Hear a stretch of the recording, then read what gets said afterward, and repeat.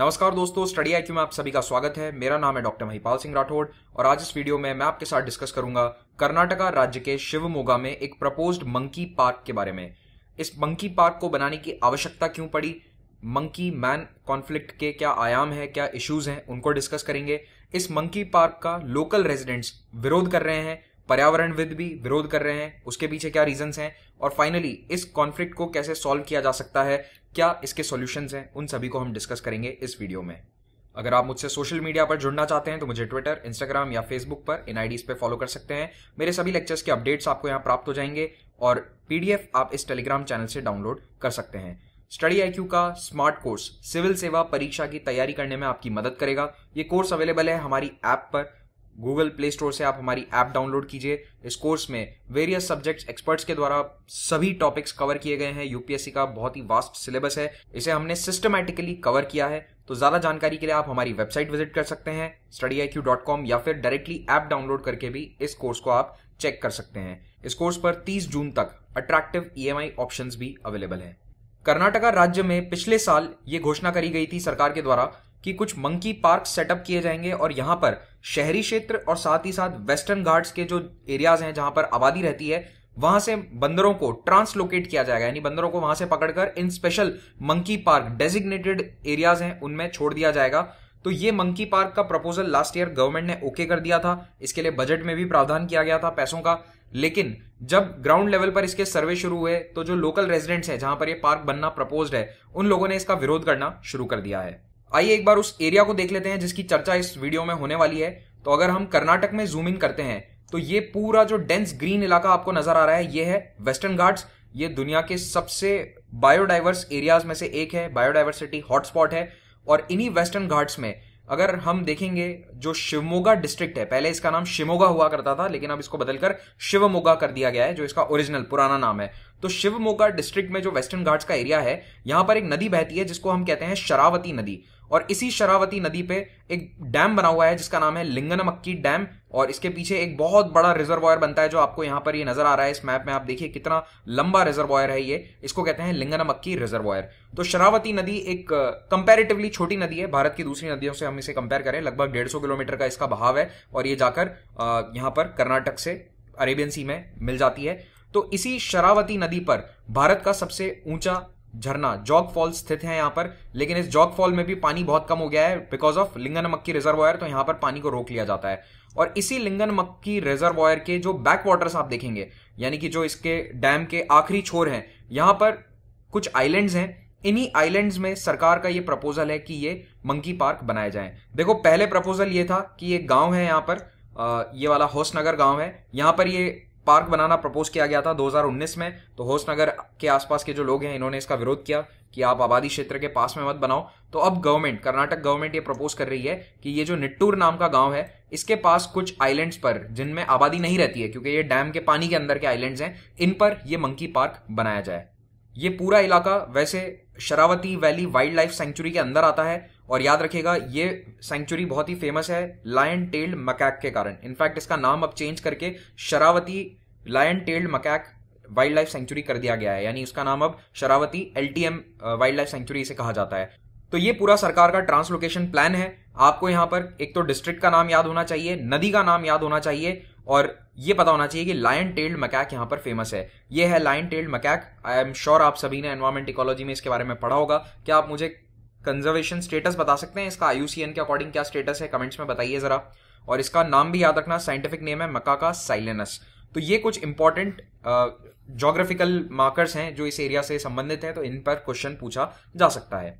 लेकिन ऐसा नहीं है कि केवल ये लाइन टेल्ड मकैक स्पीशीज यहाँ पर देखने को मिलती है। ये तो वैसे काफ़ी शाय स्पीशीज है तो ये इंसानों के आसपास ज़्यादा आती नहीं है। मोस्टली इस तरह के बंदर जो आमतौर पर आप भारत में कहीं पर भी देख सकते हैं, ये देखे जाते हैं, ये बोनेट मैकैक है, और भी कई प्रकार के स्पीशीज हैं जो यहाँ पर पाए जाते हैं बट ये वो बंदर हैं जो मोस्टली इंसानों के आबादी क्षेत्र के आसपास आ जाते हैं।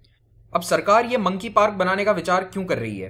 तो देखिए वेस्टर्न घाट्स का जो एरिया है कर्नाटक में, जिसे कहा जाता है मलनाड रीजन यहाँ पर डेंस फॉरेस्ट रीजन था, लेकिन साथ ही साथ यहाँ पर कई प्लांटेशन भी हैं फार्मर्स हैं, जो कई प्रकार के स्पाइसेस फ्रूट्स उगाते हैं। कॉफ़ी प्लांटेशन हैं, बहुत फ़ेमस इस रीजन में। तो इन सभी प्लांटेशन पर बंदरों का खतरा मंडराता रहता है। खड़ी फ़सल को ये चौपट कर जाते हैं फ्रूट्स खा जाते हैं। और अकेले कर्नाटक ने ये अंदाज़ा लगाया था कि राज्य में 300 करोड़ का नुकसान पिछले साल बंदरों के कारण हुआ था फार्मर्स को। 300 crore only because of monkeys इसमें दूसरे जानवर, चूहे वगैरह शामिल नहीं थे। और उसके अलावा अर्बन एरियाज़ या फिर जो गाँव के एरियाज़ हैं, वहाँ पर भी बंदरों की प्रॉब्लम है। बंदर आ जाते हैं, छतों पर उनका न्यूसेंस होता है, साथ ही साथ वो सामान उठाकर ले जाते हैं। तो ये तो चलो फिर भी एक इकोनॉमिक लॉस इतना बड़ा नहीं है, लेकिन जो फार्मर्स का इकोनॉमिक लॉस है, ये सरकार के लिए चिंता का विषय है और इसीलिए कई सालों से फार्मर्स डेलीगेशन लेकर जा रहे थे, केंद्र सरकार, राज्य सरकार के पास, और उन्हें कह रहे थे, कुछ तो कीजिए, बंदरों का जो ये मैनेस है, ये बंदरों की समस्या है, इसको सॉल्व कीजिए डू समथिंग अबाउट इट तो सरकार ने क्या निर्णय लिया? कि एक मंकी पार्क बना देते हैं, सारे बंदरों को पकड़कर उसमें डाल देंगे। कर्नाटक सरकार यहाँ पर उदाहरण दे रही है हिमाचल प्रदेश का, कि हिमाचल प्रदेश में भी बंदरों की बहुत समस्या है। इनफैक्ट उत्तर भारत के जितने भी हिल स्टेशन हैं, सभी में ये समस्या है। तो हिमाचल प्रदेश के सरकार ने एक सेंटर बनाया था मंकी पार्क बनाया इसका एक्चुअल नाम है rescue and rehabilitation centre and monkey sterilisation centre और साथ ही साथ हिमाचल प्रदेश सरकार बड़े स्तर पर मंकीज को स्टरलाइज कर चुकी है। और स्टरलाइजेशन से ये रिप्रोड्यूस नहीं कर पाते हैं और बच्चे पैदा नहीं कर पाते हैं तो इनकी जो रिप्रोडक्शन रेट है वो थोड़ी सी कम हो जाती है। 2019 में हिमाचल प्रदेश के मंत्री ने जानकारी दी थी कि डेढ़ लाख से भी ज़्यादा बंदरों को इन्होंने स्टरलाइज किया था सरकार ने। लेकिन हिमाचल प्रदेश के इस प्लान की सक्सेस पर कोई एक मत राय नहीं है। मैंने अपने रिसर्च में ये पाया कि कई लोग ये कह रहे हैं कि ये प्लान सक्सेसफुल रहा है। मंकीज की समस्या थोड़ी सी कम हुई है, लेकिन कई पर्यावरणविद कह रहे हैं कि इससे कोई समस्या का निजात नहीं मिला है। मंकीज की समस्या जस की तस है। आप में से अगर कोई हिमाचल के रहने वाले हैं तो कमेंट सेक्शन में मुझे बताइएगा कि लोकल स्थिति क्या है वहाँ पर। आप लोग ज़्यादा अवगत होंगे, क्योंकि इस तरह की न्यूज़ जो है, वो नेशनल मीडिया में बहुत ज़्यादा फ़िल्टर होकर आती है तो हमें बहुत ज़्यादा आइडिया नहीं रहता है इंटरनेट पर भी इसके बारे में ज़्यादा सर्च नहीं किया जा सकता। तो आई रिक्वेस्ट हिमाचल वाले जरा बताएँ मुझे कि आप लोगों को ग्राउंड लेवल पर क्या नज़र आता है, बंदरों की समस्या पिछले दस साल में कम हुई या नहीं।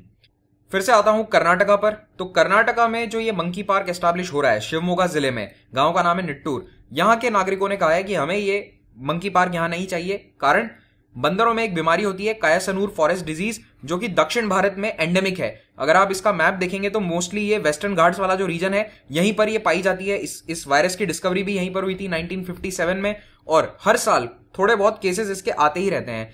अब ये ये न्यूज़ इस तरह की आप तक आती नहीं है, पहुँचती नहीं है, लेकिन मैं आपको बता दूँ 2018-19 में 12 लोग इस वायरस से मर गए थे और ये शिवमोगा में, निट्टूर के पास में ही इसका एपिसेंटर था। यानी ये जो लिंगन मक्की रिजर्वायर के आसपास का एरिया है, यहीं से ये बीमारी शुरू हुई थी। साढ़े तीन सौ लोग इसके कारण अफेक्टेड थे और बारह लोगों की मृत्यु हो गई थी। और ये लगभग हर साल इतने लोगों को अफेक्ट करता है। अब इस बीमारी के बारे में थोड़ी सी जानकारी ले लो। कयासनूर फॉरेस्ट डिज़ीज़ नाम रखा गया था। कर्नाटक के ही एक जंगल कयासनूर के पीछे। मैसूर के पास में एक जंगल है, वहाँ पर ये 1957 में वायरस डिस्कवर और आइसोलेट किया गया था। उसी जगह के पीछे इसका नाम रख दिया गया। पहले ये सब चल जाता था कि जहाँ पर वायरस डिस्कवर हुआ, उसी जगह का नाम रख दो, आजकल नहीं चलता। ये के वायरस बंदर या फिर चूहों जैसे कुछ मैमल्स में पाया जाता है मोस्टली बंदरों में ही होता है। इनकी स्किन पर जब ये कीड़ा काटता है, ये टिक्स होते हैं जो इनके ऊपर बैठे रहते हैं ये टिक्स बंदरों को काटते हैं, फिर जब ये इंसान को काटते हैं तो ये वायरस इंसानों में आ जाता है। और इसके कारण अफेक्ट कौन होता है सबसे ज़्यादा? जो जंगल के आसपास रहने वाले लोग हैं, जो जंगलों में जाते हैं, लकड़ी इकट्ठा करने या फॉरेस्ट प्रोड्यूस के लिए, या फिर प्लांटेशन पे काम कर रहे हैं, वही सबसे ज़्यादा इफ़ेक्ट होते हैं। अब इसका ह्यूमन टू ह्यूमन ट्रांसमिशन अभी तक तो नहीं देखा गया है, लेकिन ये जानवर से इंसान में ज़रूर आ जाता है। अब क्योंकि के वायरस पिछले साल ही शिवमोगा में इतने लोगों को अफेक्ट करके गया है, साढ़े तीन सौ केसेस आए थे तो वहाँ के लोगों में ऑब्वियसली एक डर है कि ये वायरस भविष्य में भी आ सकता है। मंकी पार्क होगा तो इतने सारे बंदर एक साथ होंगे तो डेफिनेटली इस बीमारी के स्प्रेड होने का खतरा रहेगा। पर्यावरणविद भी इस प्लान का विरोध कर रहे हैं। दो कारण हैं बड़े। सबसे पहला, कि बंदरों को ट्रांसलोकेट जब किया जाएगा, यानी कहीं और से उन्हें इस नई जगह पर लाया जाएगा तो उसके कारण लोकल इकोलॉजिकल इम्बैलेंस हो सकता है। भाई ऐसा तो है नहीं कि ये आइलैंड बिल्कुल बंजर पड़े हैं, इन पर भी पेड़ हैं, जानवर रहते हैं तो यहाँ की जो बायोडाइवर्सिटी है वो अलग प्रकार की है। और उसके अंदर अगर हज़ारों बंदरों को छोड़ दिया जाएगा तो डेफिनेटली वहाँ पर फ़ूड चेन फ़ूड वेब्स वो सब इंपैक्ट होंगे। और इकोलॉजिकल इम्बैलेंस किस प्रकार का होगा, ये हमें नहीं मालूम है। और ये स्टडी किए बिना हम बंदरों को वहाँ पर कैसे छोड़ सकते हैं? तो स्टेट गवर्नमेंट को पहले प्रॉपर स्टडी करनी चाहिए कि इसका इंपैक्ट क्या होगा। फिर उसके बाद ये मंकी पार्क एस्टैब्लिश करना चाहिए। एक और कारण है बिहेवियरियल मंकीज जो हैं, वो ग्रुप में रहते हैं। बंदर जनरली आपने भी देखा होगा चालीस पचास बंदर एक साथ ही आते हैं। हमारे यहाँ उनको बंदरों का टोला कहते हैं। तो ये बंदरों के जो ग्रुप हैं, इनकी प्रॉपर टेरिटरी होती है मार्क्ड होती है। ये एक दूसरे की टेरिटरी में नहीं जाते हैं। अगर जाते हैं तो इनकी लड़ाई होती है। तो ये जो मंकीज के ग्रुप्स के बीच में क्लैश है, ये एक भी एक बिहेवियरियल एस्पेक्ट हो सकता है। और ये गलत होगा। हमारे द्वारा किया गया एक बिहेवियरियल चेंज होगा इनकी स्पीशीज में। अब ये पूरा मामला एक्चुअली मैन एनिमल कॉन्फ्लिक्ट का है। इंसान और जानवर एक दूसरे से टकरा रहे हैं, उसके पीछे रीजंस क्या हैं? आई एम श्योर आप सभी को मालूम होंगे, लेकिन फिर भी एक बार मैंने आपके लिए लिस्ट आउट कर दिए हैं। एग्ज़ाम में कभी पूछा जाए तो इस प्रकार से पॉइंट में आप लिख सकते हैं।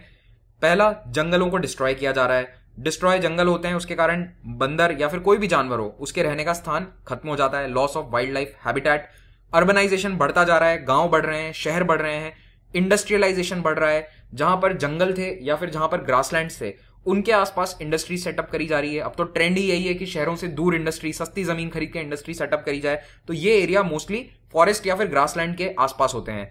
उसके कारण इनके नेचुरल लाइफ पे नेचुरल बिहेवियर पर असर आता है जानवरों के। फिर हमने कई जगह पानी को डाइवर्ट कर दिया है, नदियों को डाइवर्ट कर दिया है। अब शरावती नदी पे इतना बड़ा डैम है तो जो डाउनस्ट्रीम एरियाज़ हैं डेफिनेटली वहाँ पर पानी की कमी आएगी।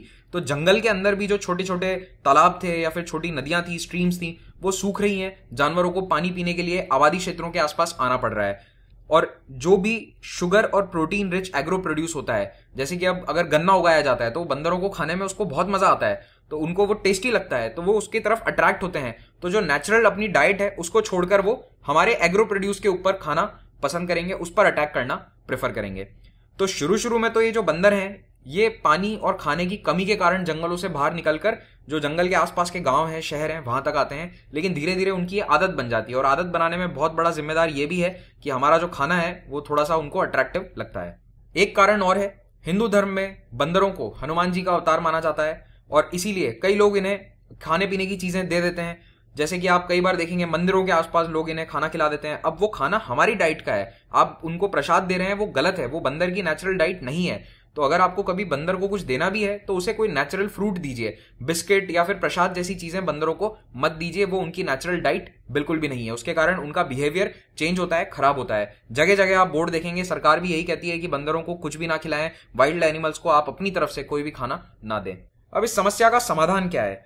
समाधान मंकी पार्क तो डेफिनेटली नहीं हो सकता हंड्रेड परसेंट समाधान नहीं हो सकता, क्योंकि आप इस बात को समझो। जब इन आइलैंड्स के आसपास पानी कम होगा, मान लो सूखा पड़ गया डैम में पानी कम हो गया तो इन आइलैंड से आसानी से बंदर निकलकर आसपास के जंगलों में फैल जाएँगे।